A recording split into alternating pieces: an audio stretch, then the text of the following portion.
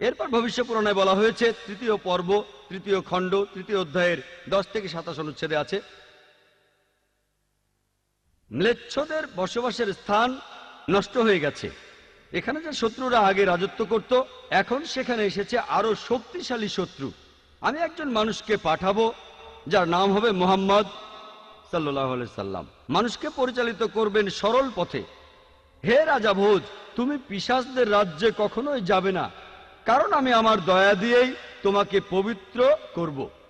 তারপর দেবতুল্লা একজন মানুষ ভোজ রাজার কাছে আসলো, তারপর বলল, যে আর্য ধর্ম এই পৃথিবীতে প্রতিষ্ঠিত হবে। এটা হবে ঈশ্বর পরমাত্মার আদেশে। আমার অনুসারীদের খাতনা দেওয়া থাকবে। তাদের মাথার পেছনে কোনো টিকি থাকবে না। তারা মুখে দাড়ি রাখবে।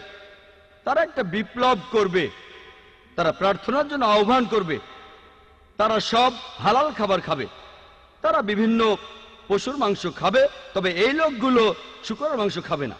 তারা লতাপাতার মাধ্যমে নিজেদের পবিত্র করবে না, নিজেদের পবিত্র করবে যুদ্ধের মাধ্যমে। তাদের সম্প্রদায়কে বলা হবে মুসলমান।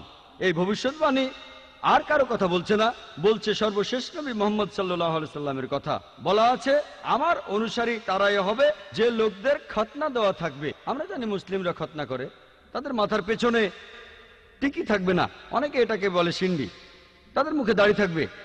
তারা একটা বিপ্লব করবে। তারা প্রার্থনার জন্য আহ্বান করবে। আজানের কথা বলা হচ্ছে, মুসলিমরা আজান দেয়। তারা সব হালাল খাবার খাবে, বিভিন্ন প্রাণীর মাংস খাবে, তবে তারা শুকরের মাংস খাবে না।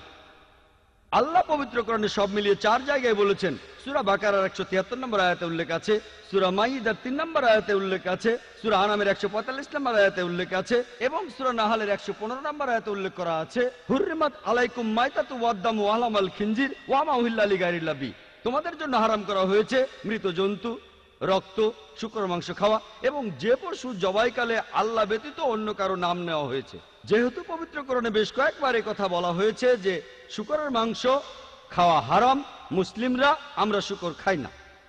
ভবিষ্যৎবাণীটা আরও বলছে যে, তারা লতাপাতার মাধ্যমে পবিত্র হবে না, তারা পবিত্র হবে যুদ্ধের মাধ্যমে।